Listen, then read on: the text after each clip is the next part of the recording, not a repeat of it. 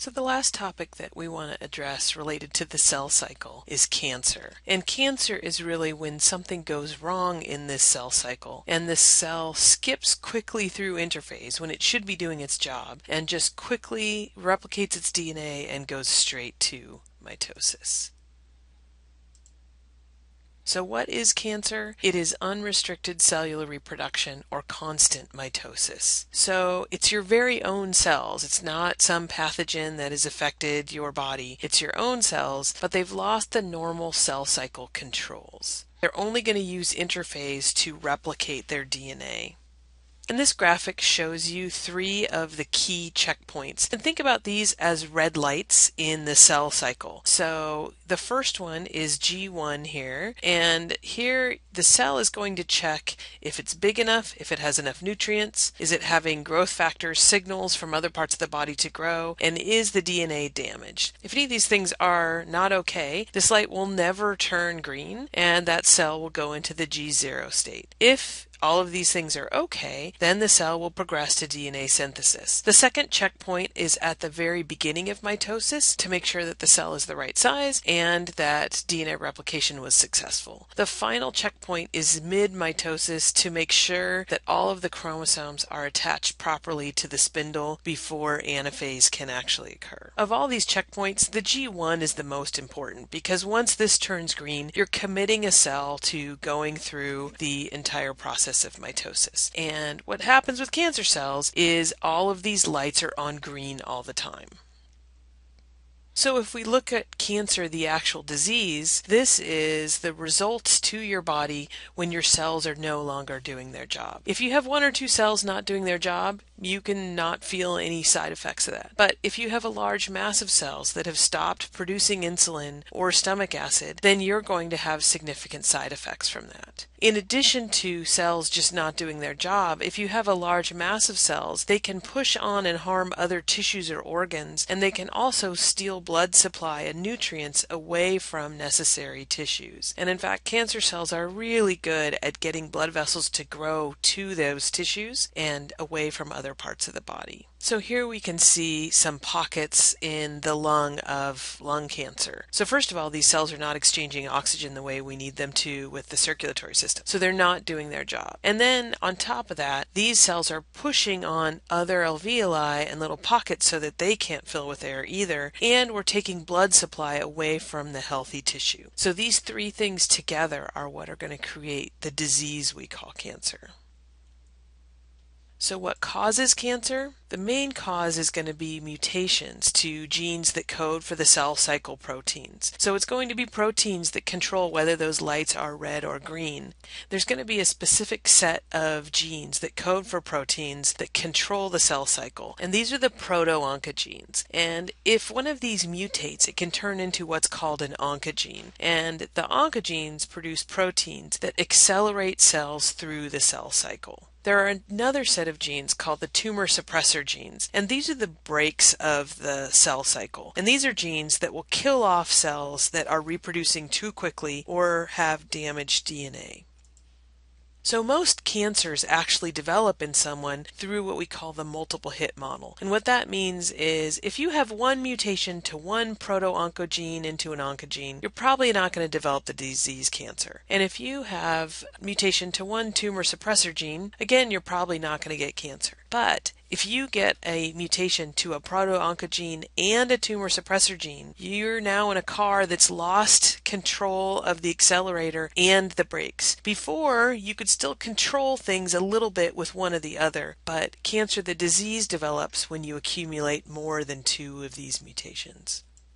What are the sources of mutations? Mutations can be inherited, so there's a genetic component, and then there's an environmental component. So exposure to chemicals that can cause additional DNA mutations, those chemicals are called carcinogens, and all of us have some combination of genetic influence of cancer and an environmental influence.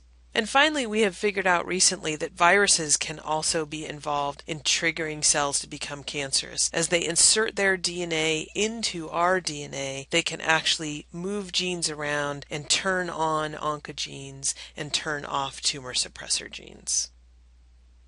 So, how do we treat cancer? We treat it with surgery, radiation, and chemotherapy. With surgery, what we're trying to do is just physically remove any of the cancerous cells. This is going to work when there's an identifiable group of cells. They're going to go in and take out all the cells that look cancerous and then remove a little bit of what looks like healthy tissue. They'll look under a microscope. Cancer cells look very different than normal healthy cells, and you'll be able to identify. And they will keep doing that until every sample they take from the outside of a tumor looks like healthy cells.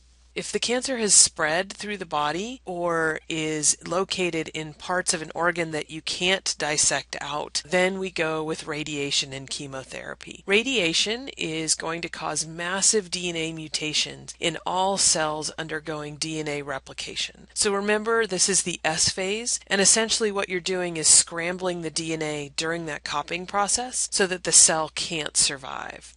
This is going to kill all of the cancer cells, which is what you want, but it's also going to kill every other cell in your body that's going through mitosis. And this is the hard part with cancer. It's your own cells, and so any treatment that you give to kill cancer cells is going to be harmful to the rest of your body. And if you think about some of the side effects of chemotherapy and radiation, nausea is really common, losing your hair, and this is related to the fact that we're killing off all of these rapidly reproducing cells. You also are going to lose a lot of white and red blood cells. You're going to have low energy and a compromised immune system because during this treatment you aren't going to have as many red and white blood cells. One of the advantages to radiation is that you can target it to one small area. So instead of exposing the whole body, you can target to a particular area of cancer. Chemotherapy is just like radiation, but instead of using radiation, we're using toxic chemicals that act in the same way as radiation but move throughout the body. And this is going to be more effective in cancers that have spread through the lymph system, and we need to make sure we get the cancer cells wherever they are. I will say that both radiation and chemotherapy are very difficult on the body, and you're essentially killing the body slowly and hoping we can get rid of the cancer cells and then recover from the side effects of these toxins. But it is a very intense treatment, and if you've ever been around someone going through radiation and chemotherapy, it's a difficult road to take, but it can really save lives. I hope that none of you have had cancer in your lives or uh, in your family's lives, but unfortunately, it is something that touches a lot of us. And uh, I think it's one of the diseases that feels the most powerless. There just doesn't seem like anything you can do. About four years ago, one of my dearest friends passed away of a brain tumor, and sort of living through that process with him was such a hard thing. And it made me really think about what could I do in my life so that other people I know and love won't have to go through something like this. And I saw this talk on a TV show, and I thought it was a really powerful and optimistic way to think about cancer. So, this researcher talks a little bit about the idea that we all have cancer happening inside of us all the time, but our immune system's actually pretty good at catching it. And so, what can we do in our bodies to help support our immune system and its ability to stop cancer before it becomes cancer, the disease? So, the next video you have in your list is this particular video. Uh, it's an hour long talk, I would only ask that you watch about the first 11 minutes because that gives you an overview of sort of his six main ideas about things that we can do in our lives. And then, if it's of interest to you, you can watch the rest of it. Again, as always, if you have any additional questions that I haven't addressed here about cancer, please feel free to ask me.